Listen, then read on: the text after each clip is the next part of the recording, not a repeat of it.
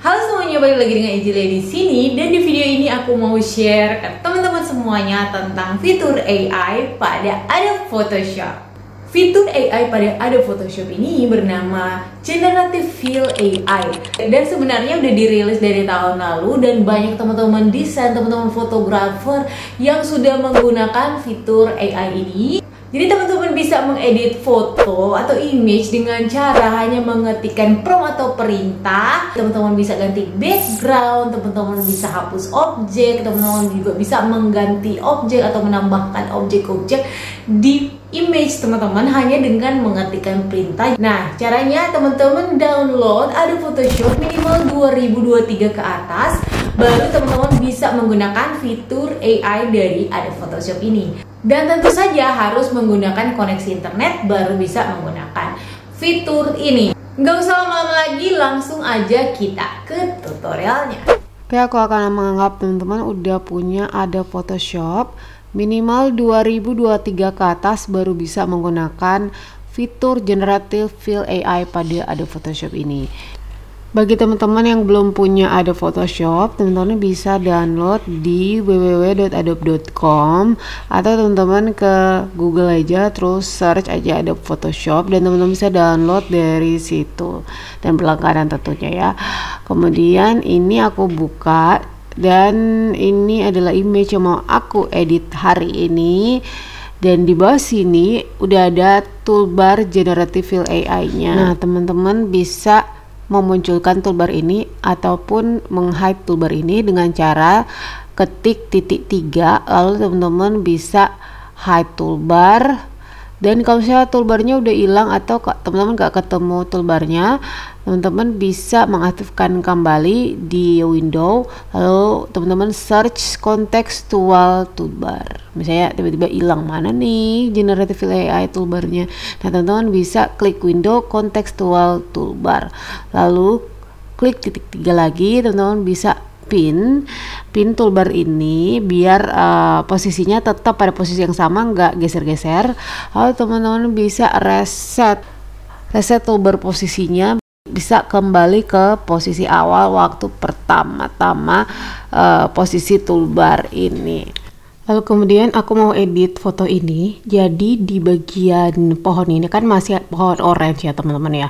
Jadi pohon orange ini mau aku ganti menjadi pohon sakura misalnya. Sebenarnya teman-teman bisa hapus juga sih objeknya. Tapi hari ini aku mau uh, ganti jadi pohon sakura. Jadi aku klik lasso tool, kemudian aku blok pohonnya. Lalu kemudian setelah diblok tinggal ketikan aja uh, objek apa yang akan diganti. Misalnya sakura berarti ketik aja sakura gitu ya. Nah ini ke ke pencet sorry. Jadi langsung kita ketikkan aja di sini ya teman-teman ya. Kita ketik apa yang objek apa yang bakal diganti dan kita ketik sakura lalu kita langsung generate aja. Nah dalam proses generate teman-teman bisa lihat di sini ada tip jadi ada cara menggunakan uh, generative AI ini jadi teman-teman bisa baca dan bisa praktekkan langsung ya teman-teman kita tunggu sampai uh, prosesnya ini selesai ya sampai di bagian ini full. Oke, okay, langsung ke ganti dong teman-teman ya. Langsung jadi pohon sakura dan teman-teman bisa lihat sendiri aslinya benar-benar gila smooth banget. Gak kelihatan ada kayak batasan-batasan atau eh, nggak uh, kelihatan patah-patah atau bengkok-bengkok ya. Benar-benar hasilnya tuh smooth banget ya teman-teman. Keren banget sih. Oke, selanjutnya kalian bisa juga menghapus objek. Kali ini aku mau menghapus uh, pohon sakura yang udah aku ganti tadi. Jadi caranya tinggal klik lasso tool, block, lalu kemudian di bagian sini kita kosongkan, lalu kita generate dan kita tunggu aja sampai proses generate selesai. Dan seperti biasa di bagian proses generating ini ada tip, ada cara-cara menggunakan fitur generatif fill AI ini jadi kalian bisa baca-baca dan kemudian kalian bisa praktekkan kita tunggu sampai selesai memang agak proses. Um, oke okay, udah selesai udah hilang ya.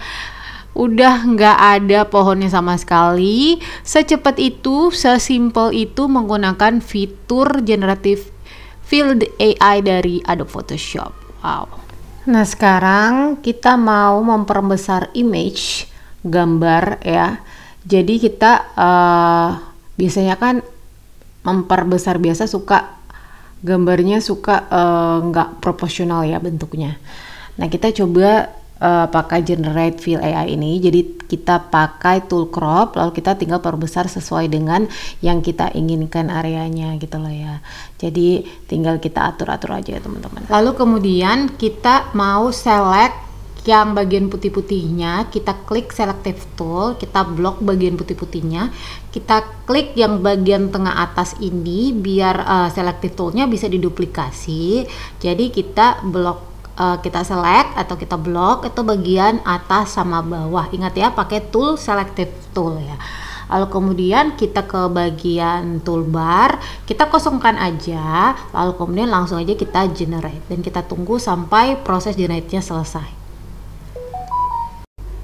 dan langsung menyesuaikan sama gambarnya jadi ukurannya seperti yang kita atur tadi tetapi untuk gambar yang di dalamnya dia langsung bisa menyesuaikan gitu loh satu kali klik aja udah jadi seperti ini gambarnya sesuai ukuran yang kita mau tetapi fotonya langsung menyesuaikan gitu di sekitarnya Nah ini kita mau tambahin gunung kali ya di sini. Jadi kita langsung blok aja. Kita mau tambahin gunung di sini. Nah, langsung kita ketikkan aja misalnya di sini mountain. Sebenarnya kalian bisa pakai bahasa Indonesia maupun bahasa Inggris ya.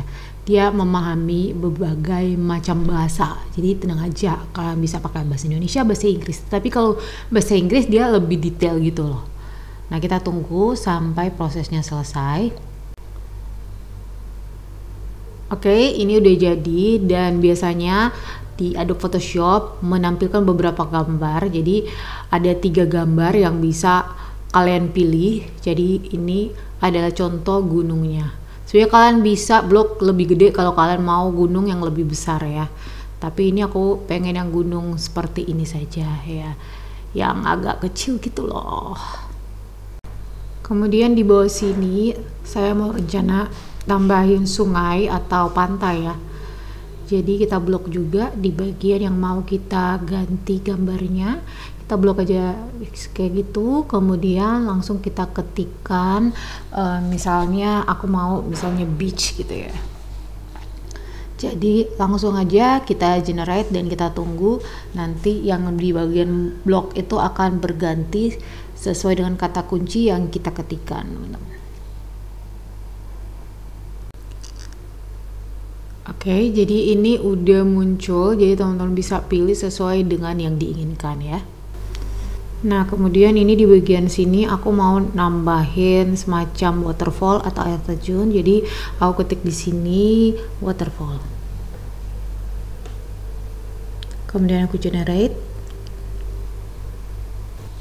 Nah ini langsung kelihatan waterfallnya jadi kita bisa pilih-pilih jadi kita tinggal next next aja kalau mau waterfall yang seperti apa. Tapi kayaknya ini lucu ya buat taruh di sini.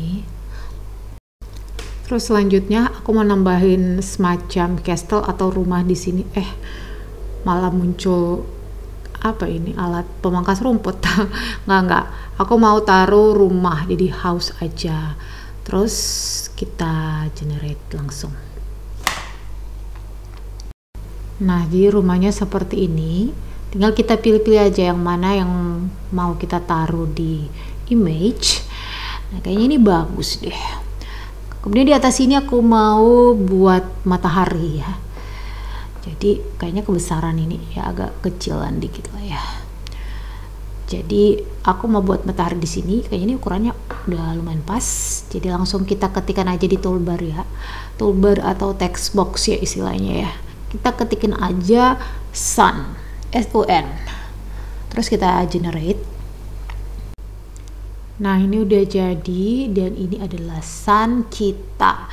Jadi di sini kita bisa pilih-pilih mau yang agak tersembunyi di balik awan atau yang seperti ini jadi kita atur-atur saja kita mau edit seperti apa. Bahkan kalau misalnya ada edit-edit foto orang gitu, kalian bisa ganti-ganti kayak baju gitu, sepatu gitu. Dan ini benar-benar seru banget dengan menggunakan generative fill AI ini. Keren. Nah ini hasilnya, jadi sebelah kanan ini adalah foto sebelum aku edit dan sebelah kiri adalah foto setelah aku edit dan hasilnya foto image-nya lebih besar kemudian udah ada rumah ada matahari ada air terjunnya dengan kualitas yang super soft super smooth dan kelihatan natural banget kelihatan kayak image asli nggak kelihatan diedit dengan cara hanya mengetikkan keyword di toolbar generate langsung jadi seperti ini ya hasilnya sangat cepat dan juga kualitasnya sangat baik seperti ini. Wow hebat ya generative fill AI dari Adobe Photoshop ini. Ya teman-teman bisa coba di rumah. Nanti ya Adobe Photoshop minimal 2023 ke atas. Nah, bagaimana menurut teman-teman? Caranya lebih praktis, hemat waktu dan hemat tenaga juga kan? Aku yakin siapa pun bisa menggunakan fitur dari Adobe Photoshop ini. Yang penting teman-teman tuh udah punya ada Photoshopnya. Dulu minimal 2023 ke atas dan punya koneksi internet. Dan teman-teman bisa otak-atik di rumah bisa coba-coba untuk image-image yang lain atau foto-foto yang lain. Teman-teman juga bisa juga mengganti background. Saya pengen background luar negeri terus sama foto teman-teman gitu. So itu aja tutorial hari ini. Dan terima kasih sudah menonton video ini sampai selesai. Seperti biasa jangan lupa subscribe like comment share ke sosial media yang kalian punya dan ya, sampai jumpa di video yang selanjutnya. Bye!